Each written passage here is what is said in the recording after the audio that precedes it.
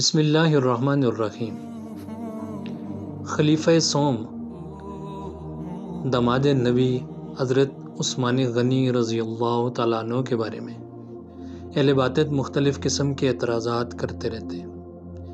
जिनमें से एक एतराज़ वो ये भी करते हैं कि हज़रत उस्मान गनी रज़ी अल्लाह तु गज़व बदर में क्यों शरीक नहीं हुए?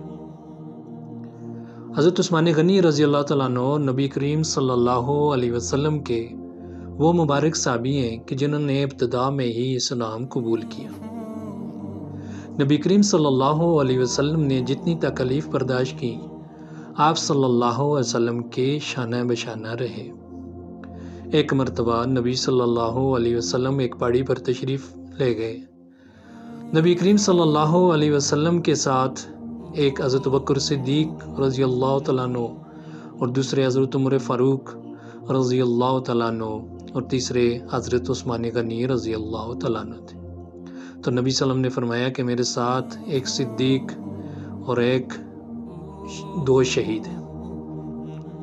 सिद्दीक से मुराद हज़रत बकर सिद्दीक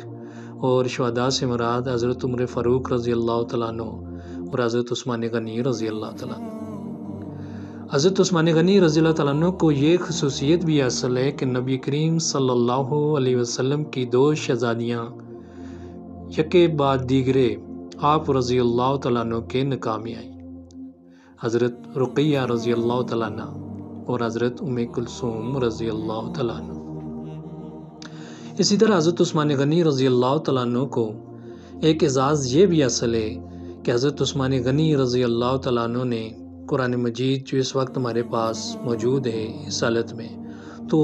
हज़रत उस्मान गनी रज़ी अल्लाह तु ने इसको एक रात पर जमा करके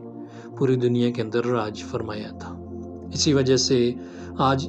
जब हम जुमे के खुतबे में अक्सर सुनते हैं कि जिसमें जाम आयातुल कुरान, हज़रत उस्मान बिन अफ़ान रज़ी अल्लाह तु का नाम लिया जाता है। जहाँ तक गजब बदर में शिरकत न करने की बात है तो उस वक्त कुछ वजूहत बयान की जाती हैं कि नबी करीम सल्लल्लाहु अलैहि वसल्लम ने